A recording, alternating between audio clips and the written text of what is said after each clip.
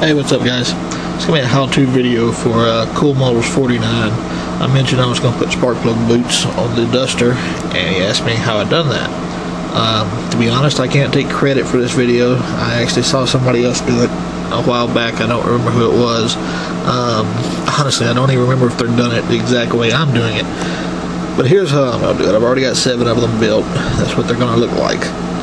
Alright, what I'm using, uh, I bought some armature wrapping wire at AutoZone. You get three rolls of this for, eh, I think it was around 14, 15 bucks.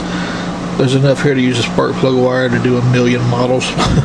There's green, red, and copper. I use the copper a lot for brake lines and stuff, actually.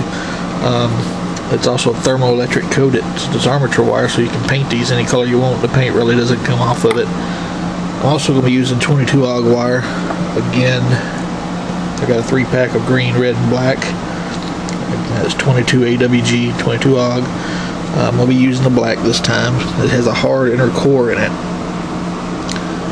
Here's the piece I've been using. Uh, I'm going to try to do this with one hand. I've already got seven of these built. But here's how I do it. Just take your razor, set it on it. Uh, I can't get this to roll. uh, let's see here. Anyway, you would roll the razor over this just get the uh, wire roll, let the razor just barely nick the, the coating and then slide it off. Alright, so I'll show you that in just a second. Okay, so I've got it cut now, trimmed. Let's see if I can do this with one hand. Um, usually it comes off really easy. one hand I'm having a little bit of problem doing this. There it is. One piece come off. Now I'll just cut a piece of that green wire from the armature wire. Um, I usually cut it a lot longer than what I'm going to need it. I'll get that cut, get everything set up, and show you what the next step is. Okay, so I got it cut, got my wire cut. The next thing I'm going to do is use my helping hands here. And I'm just going to clamp this boot in. Uh, Alright, here's the piece of wire that I cut. Just going to take a little glue, coat the wire.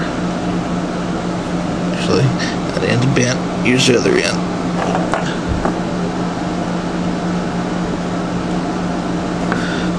Then just shove it into the boot. Give it a couple seconds to dry. You're ready to go. Okay, so the next thing I've done is drilled holes in the motor. See there, uh, where the spark plugs would go. I started out with a one six or a um, 132nd inch bit. I've got one of these little Dremel tool kits that if you don't have one, I suggest they work, work great for modeling. They stay sharp. Uh, they're pretty tough. About $8 a pack, but they're well worth it. But I worked from uh, 132nds to 364th and then up to a 116th inch hole. And the 116th on this 22 AUG wire, as you can see, it fits right in the hole. So all I'll do now is take a drop of glue, put it in the hole, and then set my spark plug boot in place. And when it dries, you know, pull it out wherever I want it and allow it to dry.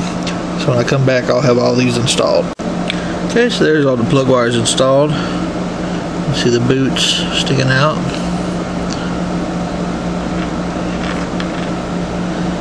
And you would do the same thing on the distributor if the distributor is big enough. I've had a problem with a lot of distributors uh, being too small. I've only been able to do this a couple times with the boots on distributors. This one actually has two electric coils on the back of the motor here and right over here. And I'm going to be well, I'm about to attempt to put boots on those actually. Uh, it may not work, don't know, but if it does, you guys will see it in just a second. Alright, so there's what the final thing looks like. Uh, I actually use plug wire separators on this one for the first time. I've never used them before. I've had them for a while. They're just so tiny that they were not easy to use at all. But they look pretty good. Uh, the back I was not able to get boots on. I was going to be hitting the firewall of the car. So I just had to glue them in place, paint it black, and you won't be able to see the back anyway, so it'll work out. Anyway, I hope this video helped. Uh, show you how to guys get the plug, plug boots on your wires. Take it easy.